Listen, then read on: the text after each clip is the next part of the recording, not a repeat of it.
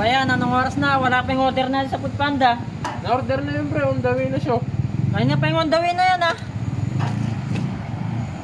Baka nandiyan na yun pre, tignan na lang Yan, natin. pagod na nga ako sa laro. Gutom na ako. Baka nandiyan na yun. Ito yan.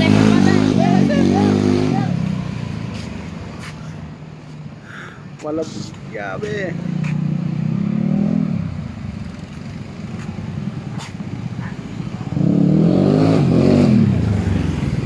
Sir, dito po ba yung ano? Genrex Motor Parts? Oo sir. Yung order niyo po.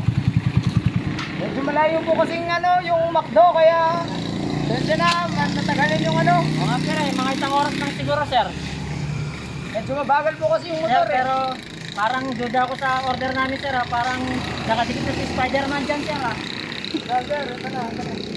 Yung order niya. Sir, pwede ba pa-return to?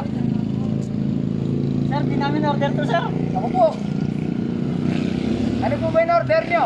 Sir, one piece chicken. Sa pati chicken. Dali lang sir, baka nahalo-halo lang yung order. Sir, alam namin. Pagkain sir, hindi Lazada or Shopee.